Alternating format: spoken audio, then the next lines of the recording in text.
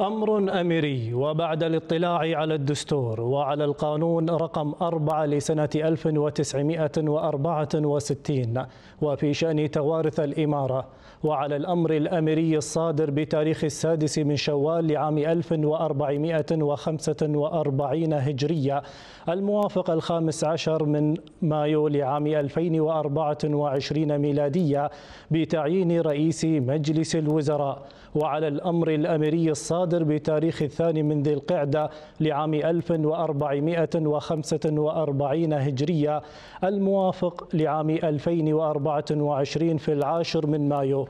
وعلى المرسوم رقم 73 الصادر بتاريخ الرابع من ذي القعدة لعام 1445 هجرية الموافق الثاني عشر من مايو لعام 2024 ميلادية بتشكيل الوزارة. أمرنا بالآتي. مادة أولى يزكى الشيخ صباح خالد الحمد المبارك الصباح وليا للعهد. مادة ثانية على رئيس مجلس الوزراء.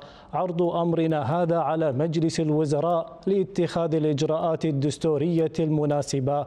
مادة ثالثة يعمل بأمرنا هذا من تاريخ صدوره وينشر بالجريدة الرسمية.